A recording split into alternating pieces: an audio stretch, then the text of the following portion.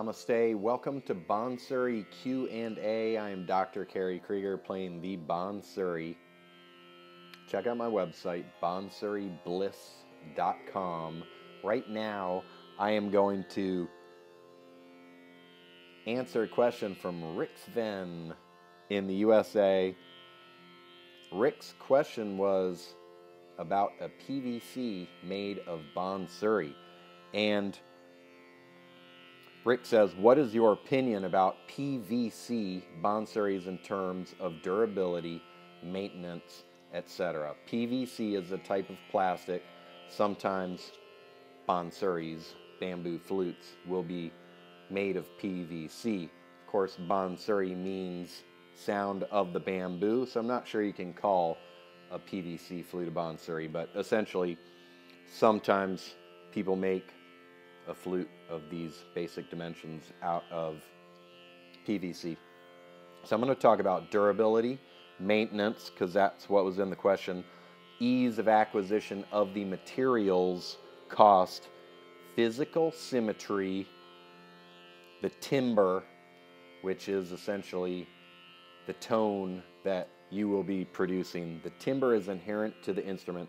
The tone is what you get from it when you play it. So the timbre is the inherent sound. The tone is your sound when you're playing on the flute. So I'm going to talk about the timbre of Bansuris and PVC flutes and the environmental impact of each material. So I'll start by saying you can use PVC, but you should use bamboo.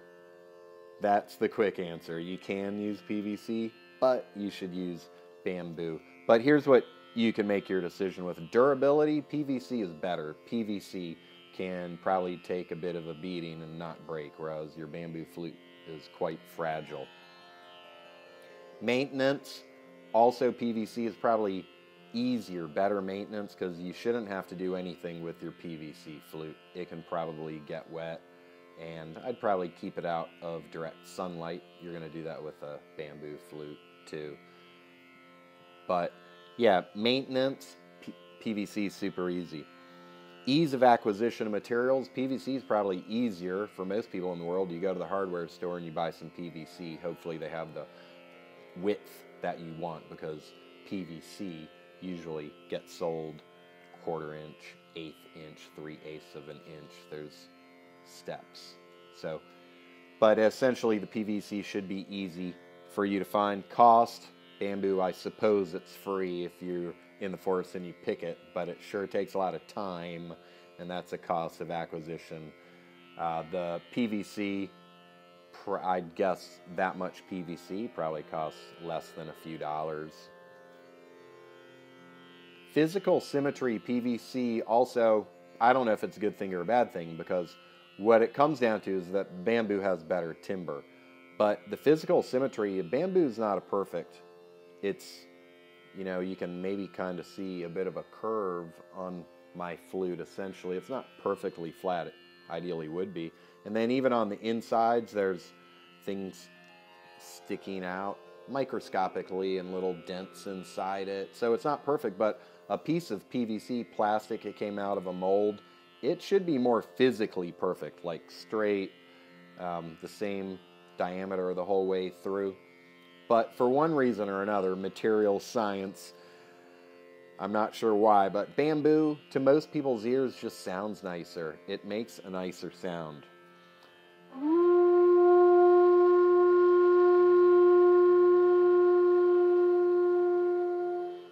To me, it makes the nicest sound. I don't think there's any instrument that sounds as nice as a Bansuri. So, get the bamboo. The other thing I'll mention too as I'm also an environmental educator, is that PVC is a pretty unsafe, dangerous plastic. So it's probably not going to kill you, but if we're producing billions of pounds of it on the planet Earth and all that waste and bad chemicals are going out into the environment, it's not a good thing. Bamboo's natural, and from my experience, there's a lot of bamboo. I haven't heard about bamboo flute species becoming endangered or going extinct. It may even be that bamboo flute players, help the population of the bamboo because more people want to have bamboo to make flutes. So, environmentally, I think bamboo flutes are better. I do keep my bamboo flute in a PVC case, and I will make a separate video at some point all about how to make a case out of PVC. I think that is incredibly important because it will protect your flute and it'll help you carry it around. And if you carry it around, you'll have it more often. So whether that's a PVC flute or a traditional bansuri, I hope you got some practice in and hope you found some interesting information in this video. Bansuri Q&A, this was episode 20 and I guess that's a landmark. Thank you for watching, especially if you have watched all 20. If you have watched all 20 of these from 1 through 20, go ahead and send me an email, contact at Indian Flute Music.